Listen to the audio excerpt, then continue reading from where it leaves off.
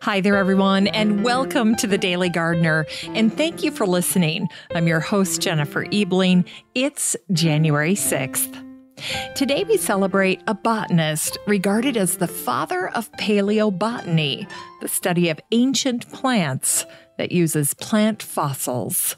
We'll also learn about the guitarist who went on a self imposed 30 year exile, spending most of his time painting and gardening.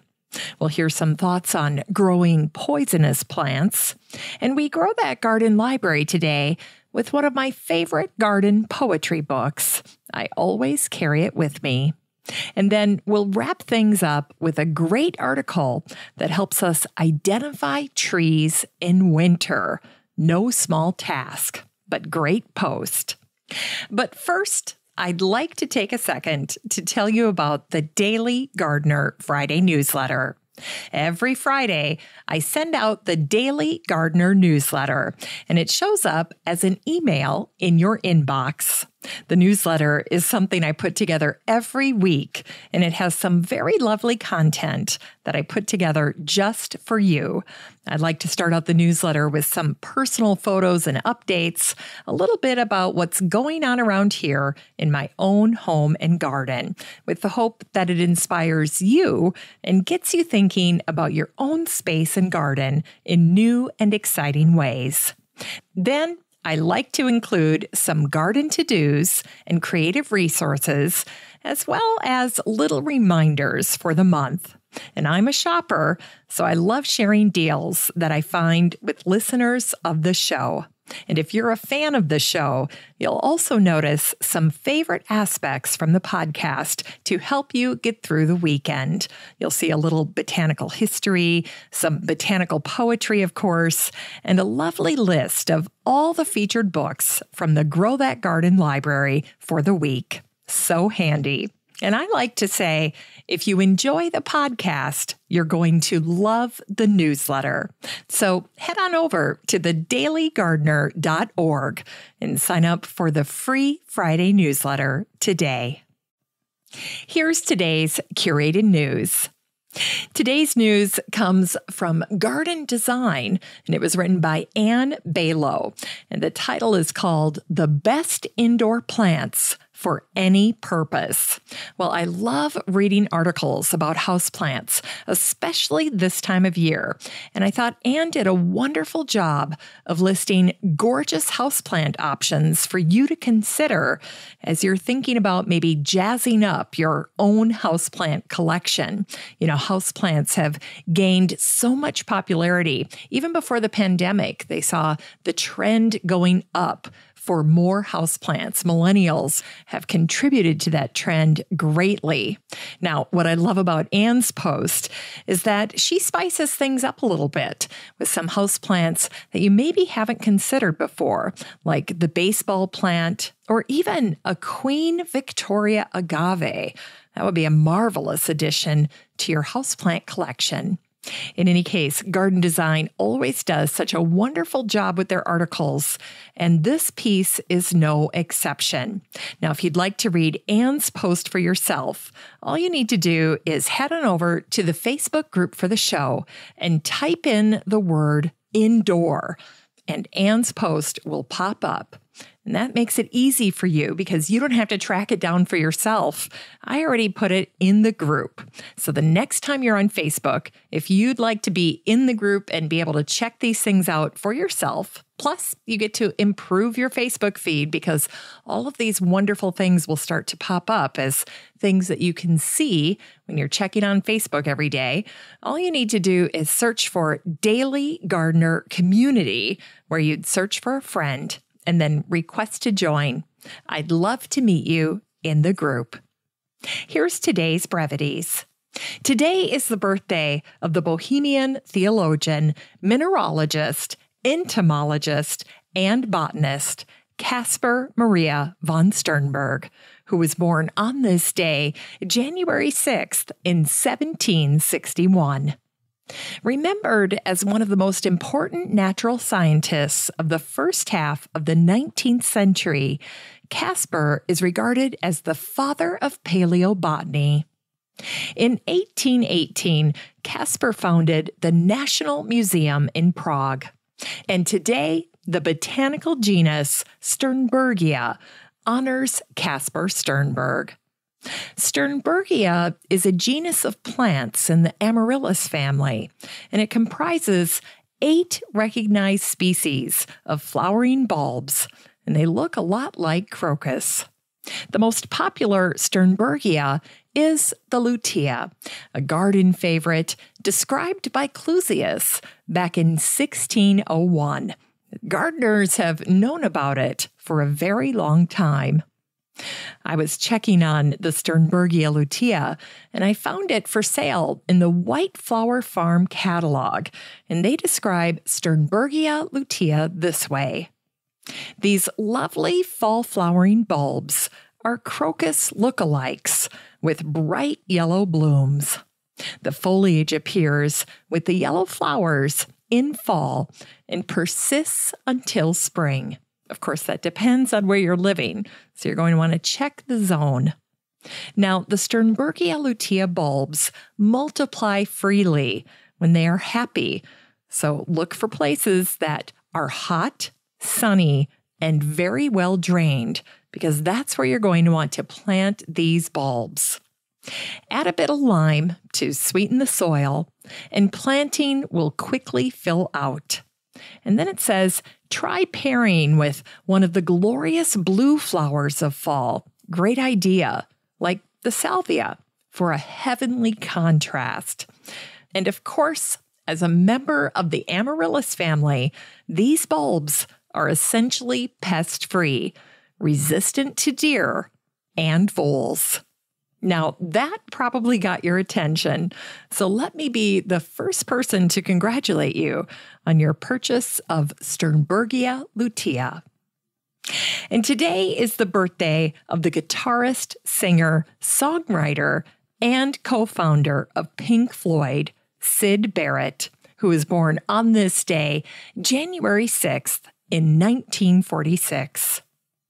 After his immense success with Pink Floyd, Syd released two solo LPs and then disappeared into a self imposed 30 year exile where he spent most of his time painting and gardening. Before his life with Pink Floyd, Syd attended the Camberwell Art School, and one of the pieces that he created was a beautiful watercolor, a delicate looking still life of a dried flower bouquet. In 2006, Syd died of cancer at the age of 60. But before he died, Syd was a patient at Addenbrooke Hospital in Cambridge. In 2017, his friend, the sculptor Stephen Pyle, and a garden designer named Paul Harrington were busy planning to install the Syd Barrett Garden at Addenbrooke. Stephen's sculpture for the garden depicts Syd riding his bicycle, hands free, of course, with a guitar in one hand and artist brushes in the other a beautiful tribute. In Unearthed Words, today's words are from one of my favorite gardeners and garden writers, Katharine White, who wrote Onward and Upward in the Garden. Here's today's excerpt. The year 1967 started with an all out alert on the danger of poisonous plants. On January 6th, the Times published a story about a lecture on the subject by John Kingsbury, the author of a useful small book titled Deadly Harvest A Guide to Common Poisonous Plants. At a very early age, I remember I was to recognize what plants are to be avoided completely. And at a very early age, I remember I was taught to recognize and stay away from deadly nightshade, poisonous ivy, and poison sumac. I was, just as early, taught the delights of chewing tender young checkerberry leaves and sassafras root. To me, it would be ridiculous, though, not to grow monkshood, foxglove, hellebore, larkspur, autumn crocus, poppies, lily of the valley, buttercups, and many other flowers now present in my borders just because they have some poison in them. It's time to grow that garden library with today's book, A Nature Poem for Every Night of the Year by Jane Hunter. This book came out just this past year in 2020. And like the companion book we talked about yesterday, A Nature Poem for Every Day of the Year, this book is one of my favorites. And in this book, Jane has gathered a beautiful and soothing collection of poetry that's inspired by nature and it's perfect for bedtime reading. And here's what the publisher wrote about Jane's book. Now more than ever, we need something to comfort and distract us from the cares of everyday life. Keep this beautiful book by your bedside and enjoy a dreamy stroll through the natural world and its wonders every evening just before you go to sleep. All the great time honored poets are here William Wordsworth, John Keats, Emily Dickinson, Robert Bridges, along with some newer and lesser known voices. These verses reflect and celebrate the changing seasons. Read Emily Bronte on bluebells in spring and Edward Thomas's evocative Adlestrop in summer. And then experience Golden Autumn with Hartley Coleridge and visit John Clare's Copse in Winter. Stunningly illustrated with seasonal scenes, this wonderful anthology will delight you for years to come. This book is 496 pages of soothing bedtime poetry inspired by the natural world. You can get a copy of A Nature Poem for Every Night of the Year by Jane Hunter and support the show using the Amazon link in today's show notes for around $23. Finally, here's something sweet to revive the little botanic spark in your heart. It was on this day, January 6th, in 1996 that the News and Observer out of Raleigh, North Carolina, shared an article called The Naked Secrets of Trees in Winter by Lee Reich. Here's an excerpt. Trying to identify leafless trees during winter is a nice game to play alone or with a companion. Lee reminds us that trees like the paper birch are easy to spy because of their peeling white bark. And the catalpa tree is another easy one with its long brown pods. And the pin oak is fun to spy. The lower branches droop downward, the mid level branches are horizontal, and the upper limbs turn upward. That said, most trees are challenging to identify this time of year. So, Lee suggests using some expert books that guide you through tree identification steps. He shares two suggestions, and I've included them in the show notes for today's episode.